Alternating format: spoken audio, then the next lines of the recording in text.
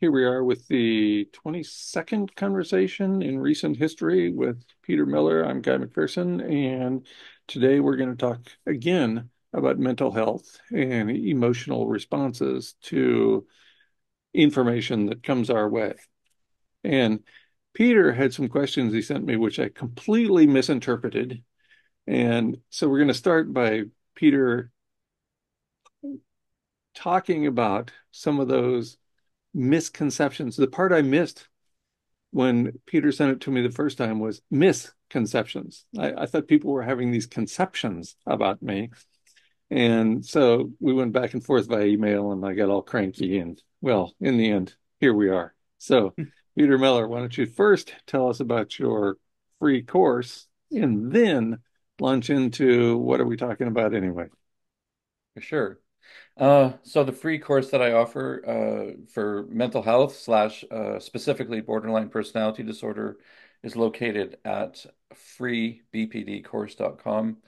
Um, and um, so it is for uh, uh, a portion of the population, meaning like millions and millions, uh, because about 6% of the population is diagnosed, 2 to 6%, uh, hard to say exactly, is, is diagnosed with borderline personality disorder, which is a struggle with uh, regulating emotions and um, perception and getting kind of stuck in emotions and irrationality unintentionally, uh, and then experiencing all kinds of unwanted uh, circumstances uh, and uh, unwanted outcomes, these kinds of thing.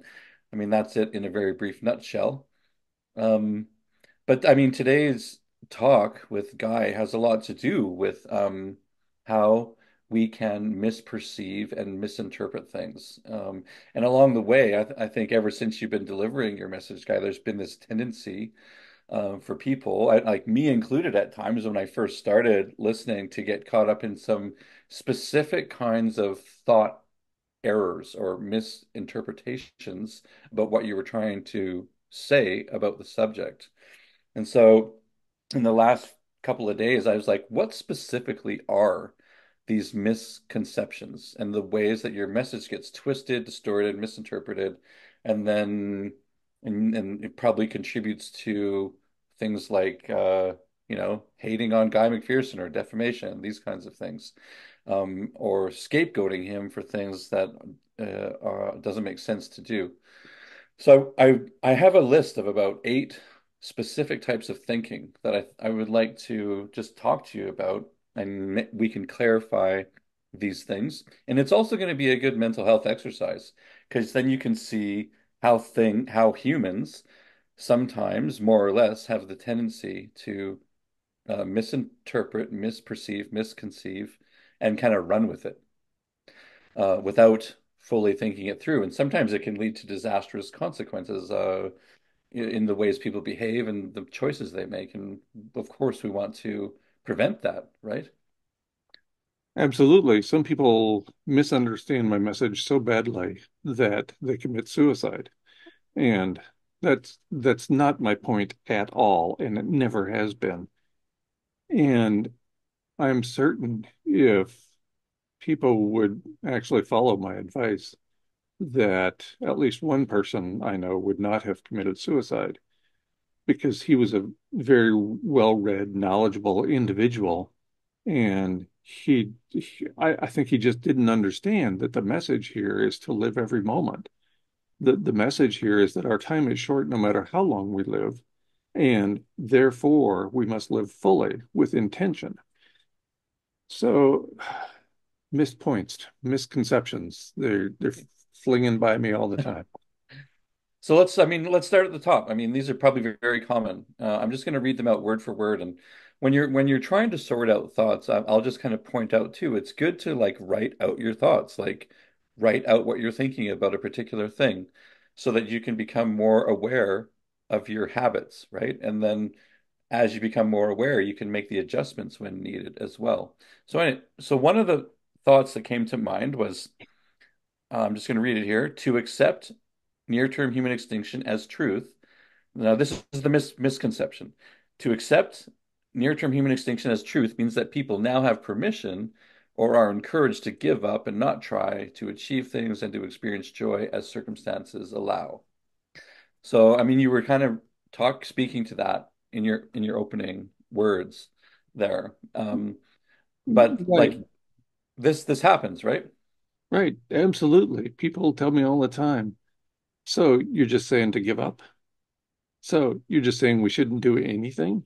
So you're saying I should commit suicide? So you're saying I should drop out of of, of all kinds of professional and social life? And no, no, no, no, and no. That's going to be the key word today. Is no, that is not the correct interpretation. Right. Um, so if we were to, I mean, and this is classic cognitive behavioral therapy. So if we were to put a, a, a, a more rational spin on the those types of words, so if you accept NTH, NTHE as truth. Um, so we're saying it, you don't, we're not offering permission or encouraging you to give up and to, uh, we're not encouraging you to not try to achieve things and to enjoy life as experience as uh, circumstances allow. Uh, in fact, um, while, you know, while we're all here, I mean, I think you're saying let's make let's make the best of this experience as we possibly can, despite the challenges, despite the um, losses of biodiversity that do occur, despite the um, corporate agendas to continue their money-making machine that has a cost to all of us that they won't acknowledge. So we're saying, despite all of that, uh, in bring something, bring good things to the world and find the pockets of joy. Um, seek that out. Don't give up on it. And and there's no better way to bring joy your, to yourself than by bringing joy to somebody else. So Mhm. if you can help somebody, even in some small way, I guarantee that's going to help you from an emotional health standpoint. It's not just helping the other person. Mhm. Yeah, every time we talk and I'm able to share my contributions with the world, I mean, I feel I feel a warmth inside, and it's just nice to know that it might help somebody somewhere or some family um, have a little bit less pain and misery. And um, I mean, you're saying you could extend, you could contribute in a multitude of ways. Uh, it could be taking out your neighbor's garbage. It could be a whole bunch of things, right? Like, Right. There was, when I was in Tucson, there was a woman whose very young son died tragically right in front of her. And for for several weeks after that, when somebody would do something as simple as hold the door open for her, she would burst out into tears, tears of joy, because she just didn't think life could be good anymore.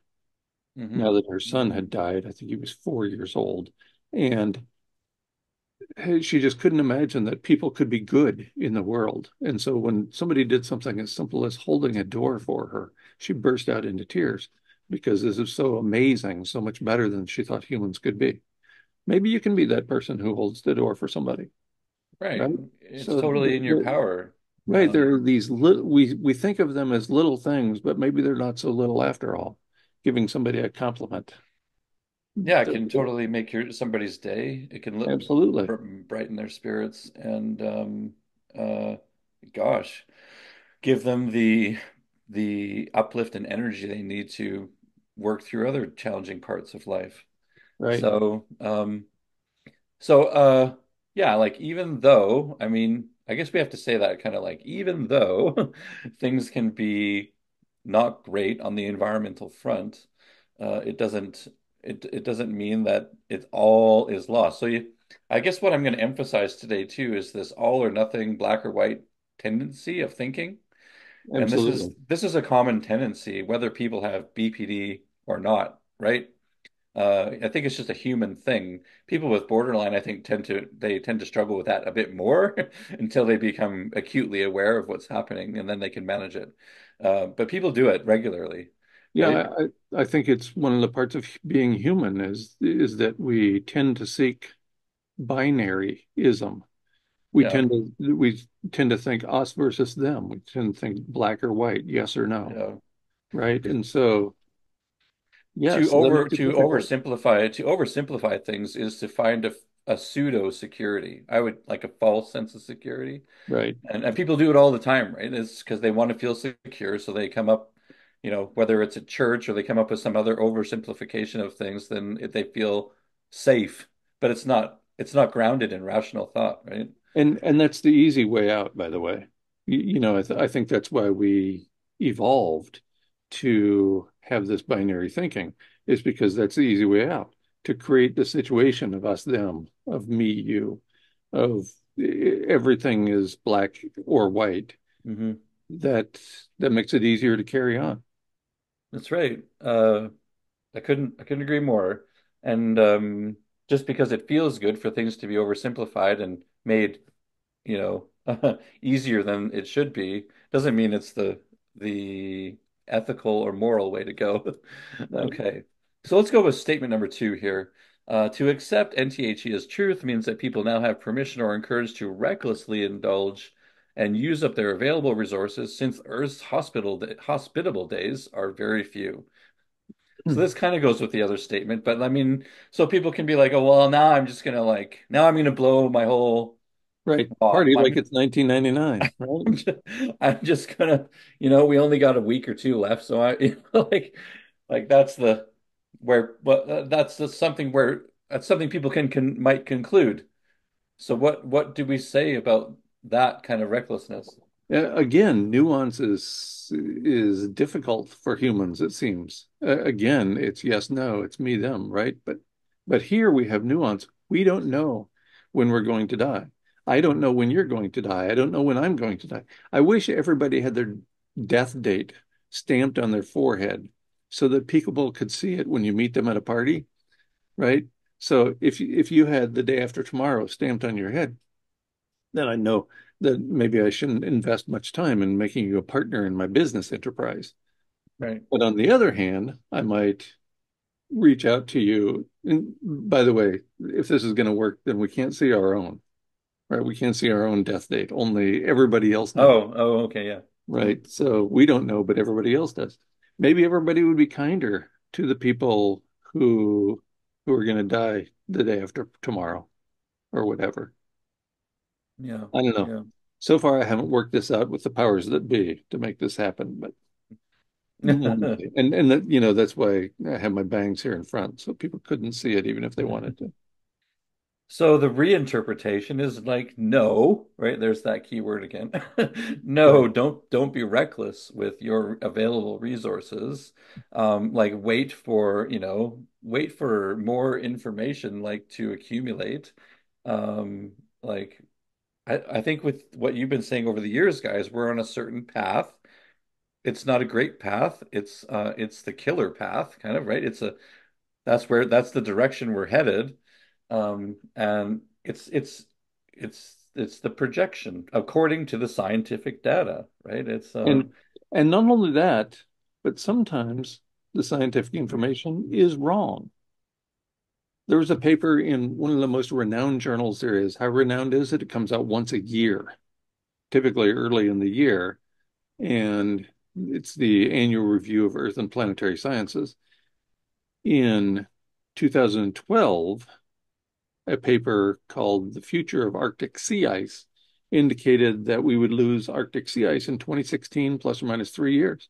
And when we do lose Arctic sea ice, that will set us on a trajectory that almost certainly will include extinction of humans and most, if not all, other organisms on the planet. So it's a really bad deal. It's it's the worst of all possible news.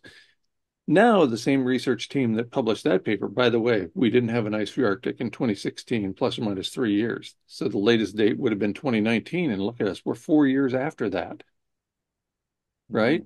mhm, mhm, So that's a long time.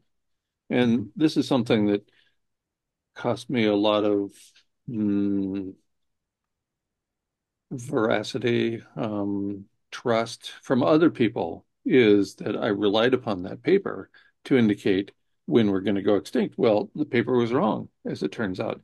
Now, the same, the, a similar research team, also at the U.S. Naval Postgraduate School, headed by the same person who directed the previous effort. Now they have put together a six month ensemble forecast, which from a scientific standpoint is very conservative. So I think we will know with great certainty in early to mid-April of this year, based on their six-month ensemble forecast, when we're going to have an ice-free Arctic Ocean. But but their latest projection, no, these are predictions. They're they're forecasts. They're not projections like they used previously. And so far, in the I think it's two or three years that they've been doing these ensemble forecasts, we haven't come close to an ice-free Arctic Ocean. hmm hmm So So I I mean, s science is better than than haphazard thinking, like, but it's still not perfect, right. 100% perfect. Exactly. And they used uh, what turned out to be an inappropriate projection. You know, they used the existing data points, they just cloud of data points, and then they ran a, a line through them. And where it hit bottom was 2016 plus or minus three years. And it turned out that was wrong. Well, hallelujah, right? Right, right. Um, and like, is there ever a time to become totally reckless with our resources? I mean, I'm kind of thinking. Like if if I if I really care about the people around me and I want to support them in their life as long as possible, right? I'm not going to become I'm not just going to recklessly blow it all, or even if it's just me. I mean, if and if there's good things I can bring to the world, why should I recklessly uh uh, destroy what I have to support my own life and then undermine what I could give to others. I mean, if you really want to think about morality, I mean, think about that, right? Like, um, Right, is is it ever a good plan to party like it's 1999? I right, don't know. right. No, I, I, I can't imagine a situation in which that would be the right thing to do. Yeah. Um, and I, I guess what I'll add along the way here too, like because emotions can be difficult to deal with, and because Guy's messages can be emotionally evocative, it can induce a sense of fear. Um, that's one of the reasons I think people get stuck in the polarized thinking, right? Is they kind of get caught up in their emotion. They don't have a way to manage it effectively, and then they end up in kind of these extreme ways of thinking. And I've said this before, like if you want to explore Guy's content, I think you should get some some awareness and skill about how to work with emotion so you don't end up in those extreme places, right? Uh, you sort of have to take it upon yourself to like, okay, this is this is this can be emotionally evocative, and so I'm going to learn how to work with this part of my health so I don't become reckless, right? Does that make sense? Absolutely. I mean, I can't imagine a situation in which reckless behavior is a good idea. I And mean, and when you're not we only hurting yourself, you're potentially hurting other people. absolutely and uh and and when we struggle with our emotions, unfortunately, it's more likely uh, when we don't have a good way to manage those emotions, it's more likely that we could have extreme thinking and extreme behavior. Okay, so statement number three here, uh, accepting NTHE as truth. This is a misconception, means that suicide is preferable to facing whatever is in store. So some people might say, I'd rather die than wait for like apocalyptic circumstances. Right. I'd rather Um, die at my own hand than face whatever is coming next. like uh, like then yeah, starve or whatever, right? right. And how, how could that possibly be sane? As nearly as we can tell, this is a one-way street. There's only one life we have here, and it's short. By any measure, our lives are short. And so you're gonna you're gonna end that one life that you have that that you claimed you were trying to make better every day. Right. Hmm. Well, and a- Hmm. again, you said the word easy way out, those words, right? And um uh if you're mm, if you're saying I would rather not face challenging circumstances, then I would rather die than face challenging circumstances, right? It's kind of saying I don't want to be faced with I don't want to have to experience hardship and uh And I guess you're also saying when you say that, I don't want to help others through that time, right? I want to I want I'm going to bail so that I don't I'm not around. And then if people need me, I won't be there for them, right? Uh, I, I think suicide has got to be the most selfish thing, the most selfish act a person can commit because it's not just about you. There are people in your life. There, there might be family members, there might be friends, there, but I've never known anybody who could who, who committed suicide who wasn't missed. yeah. Like I have a I have an I have sort of an under I have an understanding of where those people can be coming from, especially if they don't haven't yet learned enough about mental health and how to manage it. I I can I can fathom how it would seem like life is too much to carry on. Um, but the thing is, there are resources, there are ways to learn how to live in your body differently so that you can endure those experiences, right? So I mean, and these resources are freely available, right? And and we're just I'm just we're just giving them to you. It's like like my resource is one of many, but there are other other free or relatively inexpensive resources, and you can learn how to do this, right? Um, so that suicide doesn't have to be the way or the only option. And I mean, if that's something that runs through your mind regularly, like I want to escape life because the emotions are too hard, get some skills, right? Right. Learn some things. And then Right. it it becomes just it doesn't have to be the only way to to cope. So again, we're saying we're saying no to suicide, are we not? yes, absolutely. Life is difficult. Life is difficult for everybody, right? I mean, I don't know anybody who breezes through life. I don't, I don't even think the Queen or the King of England, right? I, I, I suspect that even they have difficult days, even when they have people wiping their butts every time they. Well, privilege doesn't privilege doesn't eliminate mental health challenges. Uh, Right. I'll t tell you that I know that 100% because I've met with people of all stripes, and it's whether you're poor or rich, you can still experience horrendous emotional pain. Okay, so let's go to statement four. To accept NTHE as truth means that people should conclude there could never, ever be a global response that resolves the McPherson paradox.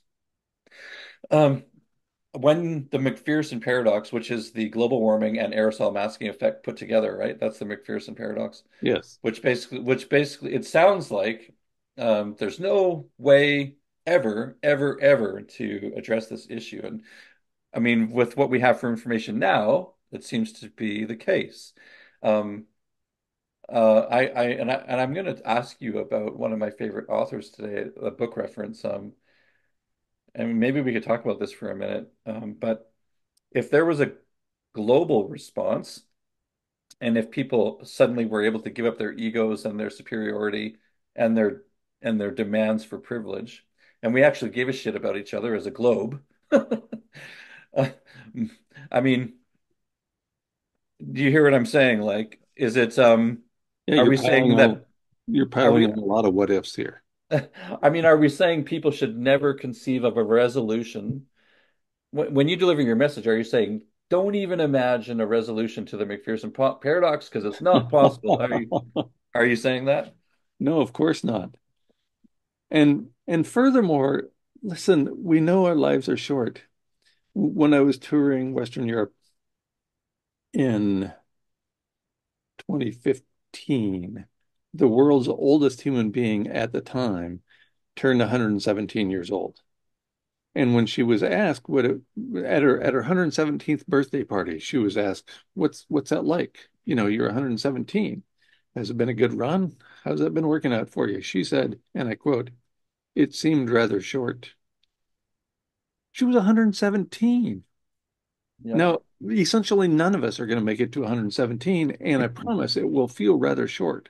When you get to the end of the line, I don't think anybody is going to be going, "Oh man, it's about time." 48 years was nonsense. Like I hear you. Like life is short. We're all, I mean, we all have to face the the fact of death, regardless of when it happens, n nearer or later, right? Near or far. Uh, I guess what uh, when you you're not saying that people shouldn't toy with the idea, how could we resolve the McPherson paradox? It's kind of fun, actually. Like I, I, I, I kind of, uh, I, I like to imagine scenarios like, you know, what would it take to resolve the McPherson paradox, right? It would, I, I think it would take a huge global response. It would take cooperation, unparalleled cooperation. Um, it would take the dropping of like nationality and egos like never before. Right. Um, I I don't view it as moon as a moonshot. I view it as a Pluto shot, right? That's that's how challenging this would be. But it will never happen if we don't all agree that we're facing a huge problem here and therefore make some sacrifices so that we can address the issue. one of And my, uh, go ahead, if you're if you're if you're not willing to make some small sacrifice so that we can continue to have life on Earth, then I don't think we're on the same page. I suspect most people are willing to make some sacrifices to ensure the continuation of life on Earth, including human life. And yeah, when we say sacrifices, I think we should elaborate on that. And I'm just going to bring in this book reference here. Um, one of my favorite characters, he's deceased now, Jacque Fresco. He has this book called The Best That Money Can't Buy Beyond Politics, Poverty, and War. He was a founder of the Venus Project or one of the leaders there. Oh. Uh-huh. hmm And he's he writes eloquently about exactly what we're talking about. And um, uh, like what I think what it would really take, like if we were to even have a chance at resolving the McPherson paradox, it would take, like in what he writes in his book is what I'm referencing here, sort of, and if I can, he would say it would it would be like a, a complete paradigm shift. Like everything that we've ever done would have to be discarded. We'd have to we'd have to we'd have to tabulate and tally everything that we have for resources everywhere in the world. And then we would have to scientifically, what that's the the best method that we have to figure out, you know, how we can deploy these resources um, evenly uh, to every everyone everywhere.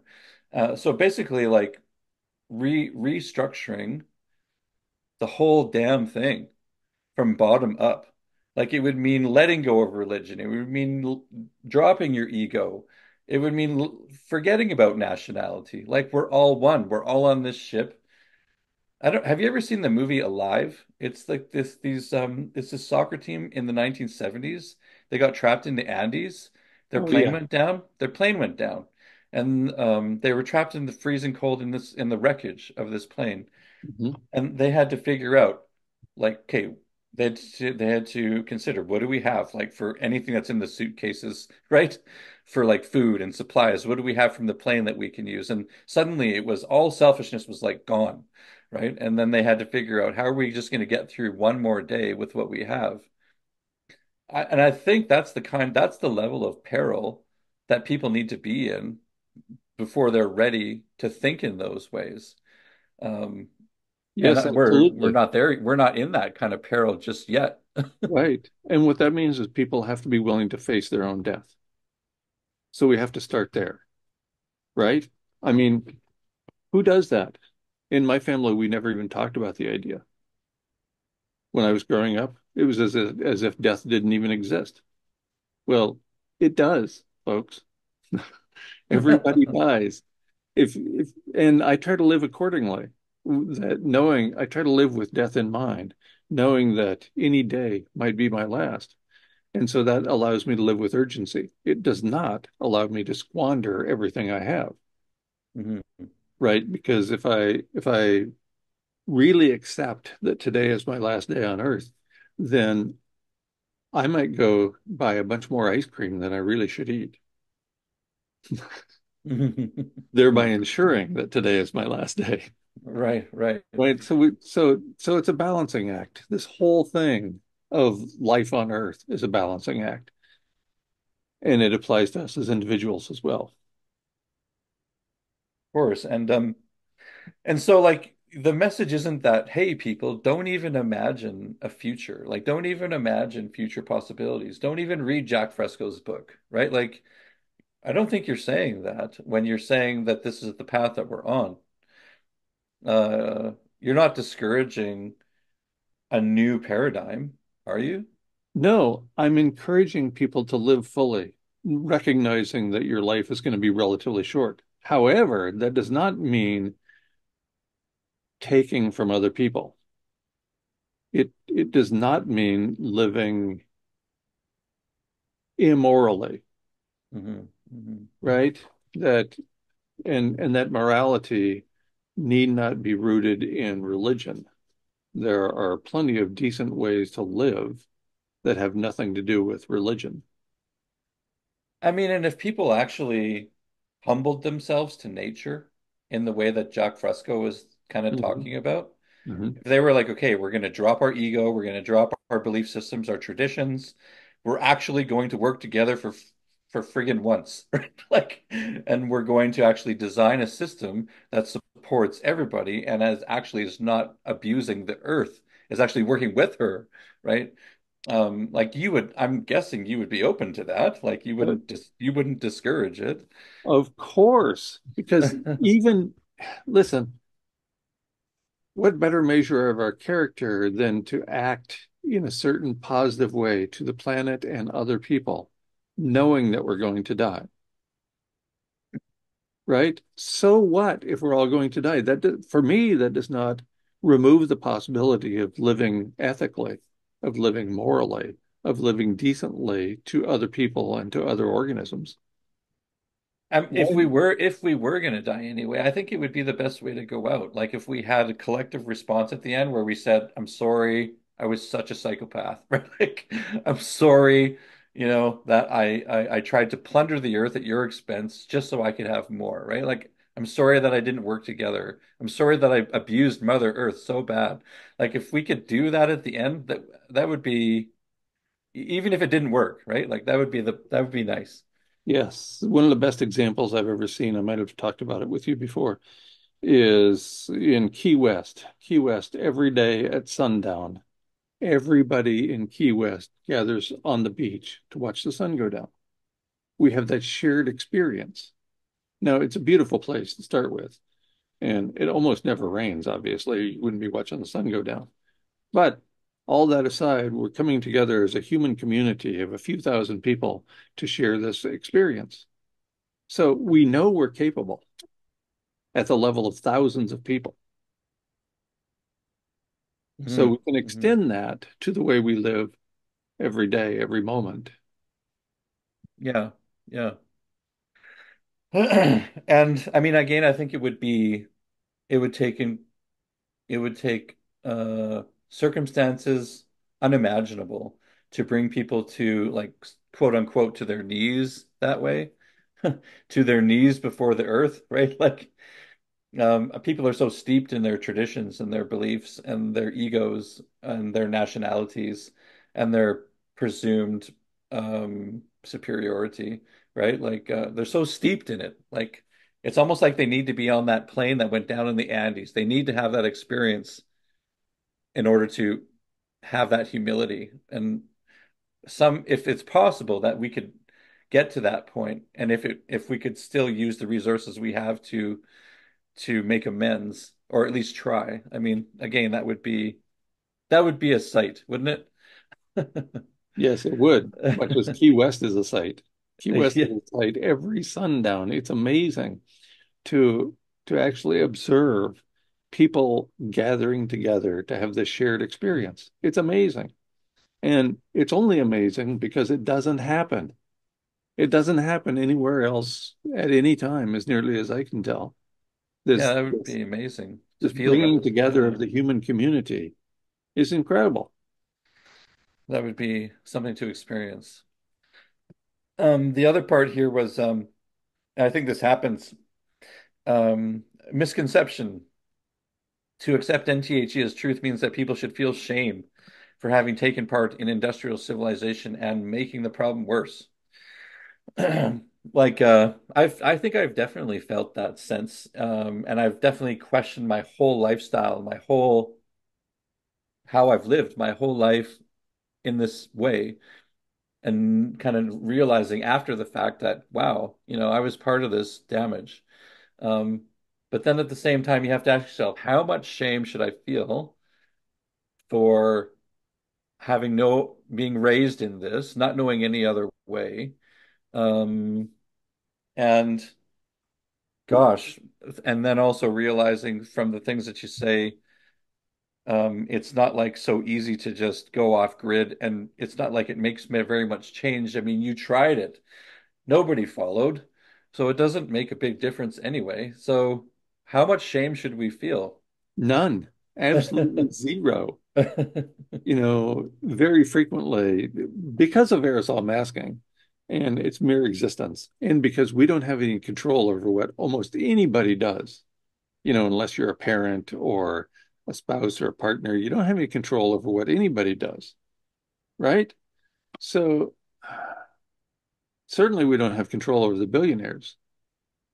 So That's what. I say is the mass of us, the the the masses of humanity are here to conserve natural resources, to conserve all the things we need to have a decent existence for an extended period of time. And the billionaires are here to conserve aerosol masking. To So, preserve, to pre to preserve privilege, I guess, right. right? And so I don't have any control over that that rich man who the billionaire who flies not two jets, but not just one personal jet, but two personal jets whenever he goes Right. somewhere, the, the one in the lead to make sure that the one he's in behind doesn't experience any air pockets. Well, I don't have any control over that. I could write him letters till the cows come home, so to speak, and he would still take two jets every time he went somewhere. And so I don't, I all I know to do is make a joke out of it that I'm here to conserve and he's here to to maintain aerosol masking. Right. So I I mean, most individuals, I think we should probably point out, most of us have a very small lever when it comes to like how much carbon we emit. Like um, on on the scale of things, right? We're probably in the very, very, very small percentage, and then people with the most privilege and all the factories and all the thing extra things that they do, they have golf courses, whatever. Like they have a much bigger lev lever, and they waste more, right? Like Right. uh, Absolutely. they emit more. Um, So we have the small lever, we have very limited control over carbon emissions and and there's a whole bunch of other things that matter too, you know. It's not just carbon dioxide in the atmosphere that that we need to be concerned about. It's mhm. everything. How much plutonium did you use last year? How much uh, of everything? So, and Let, like you say, we don't have a large lever. right. I think it still makes sense to feel some way, and I've said this to you before, like I don't think we need to get like buried in shame, but I still think it makes sense to feel some sadness, some regret, some disappointment that this is the way it is, and this is, you know, this is what's happening, you know, and that we got sucked into it. It's still kind of sad, Yes, right? And it's it's it's unbelievably sad, and we have no control over it. mhm, So, yes, I feel terrible.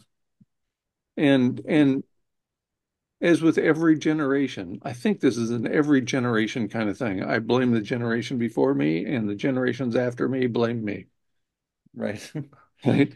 And it's it's a lot more complicated than that. It's a lot more nuanced than that, folks. But we we just don't do nuance well. And it's good to admit that, right? So it's good to admit that. And I mean, if we can say to ourselves, you know, I don't do nuance well, and I don't have a very good grasp on the very big picture. So everything that I conclude, I really have to say like with a with a grain of salt. Like I can't say this is totally the way it is. Like it's you can't be 100% certain even after listening to 200 Guy McPherson videos, right? Like you still you can't have 100% certainty. I thought I was pretty darn certain when I when I walked away from from civilized life that and started living off grid, I thought I had it all figured out. Turned out I was wrong. And yeah, I, I, I, when you say wrong, I think it's in degrees because I, I think the scientific method is still reliable. It just it can be in percentages, percentage points. Uh, Right. that's But but I didn't know anything about the aerosol masking effect, the best right. kept secret in okay. climate science. So uh, lacking information I went down a certain path that seemed like a good idea at the time. And I think that speaks volumes to your character to admit that and to say like like look, I didn't know everything. I based my conclusions on what I know at the time. And so, I mean, that's that's a humble thing for a very educated man to say, I think. So I appreciate that. Um, so that the second last one here, to accept NTHE as truth means that our attitude towards humans should be generally negative because they have proven themselves to be more selfish and ruinous than conscientious and moral. It's like, should we hate humans? Right? Uh, that would be a very extreme way of thinking, right? Like, are we all bad kind of thing? yes, we should hate we should hate all of them except for our personal friends and the occasional person we have a Zoom meeting with. No, no, that doesn't make any sense because just like you, just like me, everybody is trying to get along to the best of their abilities. They're living within this set of living arrangements that they had no control over. This is what was operating when I came into the world. It's still operating. It's still charging along, and I don't have any control over it. I dropped out. So what? Didn't change a thing. Mm-hmm. Mm-hmm. And and Yeah. there, there are writers who make decent money by shaming people, by telling people that you got to do less. Here's what I do. I wash my own clothes in a bucket, you know, and blah, blah, blah. Come on. Yeah. And this can be a really destructive path to get on, even towards yourself, I think. So if you like start developing a hate on for all of humanity, I think you could easily turn that on yourself, right? And then then you would want to die, kind of thing. Like I'm such a horrible, I'm such a horrible organism, right? Like I'm I'm such an awful being, and I'm and I'm in a system that is harmful. And like you could, you got to be careful, like you know, like with the the profound negativity.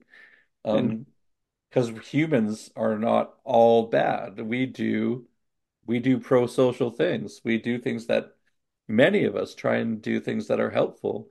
I mean, I think you're looking at one of them. I, I try. I still make lots of mistakes, but geez, it's not all bad, you know. And. I think I think Guy McPherson is the same, yeah. Well, there's there's this group led by somebody who won't give his real name on YouTube. And the group is called Efilism or Efilists. And Efil, E F I L, is life spelled backwards. And they are opposed to any life at all. And an acquaintance of mine fell for that nonsense. He committed suicide. That's absurd. It's absolutely ridiculous because there's this idiot on YouTube who's telling people that we got to not only kill ourselves, we got to get rid of all life on Earth. Hey, buddy, we're headed that way already. You don't need to encourage people to shorten their lives and the lives of other people just because of your screwed up thoughts. And you don't even admit, admit who you are. Oh, So that, again, that is called efilism, or is that what I was wondering if that would come up today? That's called, how do you say that again? efilism. And, and the people are called efilists. So it's yeah, it's basically saying any life form, or especially a human life form, is is a bad life form. Yes, Um, absolutely. and like All life, shouldn't all life is bad. okay. Are you Uh, kidding me? it's a very a very extreme, distorted way of looking at things. Like Oh, it's saying it's it's all it's all negative. There's no nuance. There's no gray. There's no there's no yes and no. There's it's all binary, 100% binary, right. right. And and whoever believes that never tasted a fresh strawberry. Or or acknowledges the good things that they have uh, offered, you know, like um Right. Um, I think most people do some nice things and they try their best with what they have. I, I like to give people the benefit of the doubt. I mean, I think it's, and I think it's a reasonable thing to do. Most people have experienced love. That's an amazing experience. To to claim that we should all kill ourselves and all the rest of life on Earth, to negate not just every other experience, but to negate falling in love, that alone is enough to make me want to do bad things to this individual who doesn't give his name. And that's putting it mildly.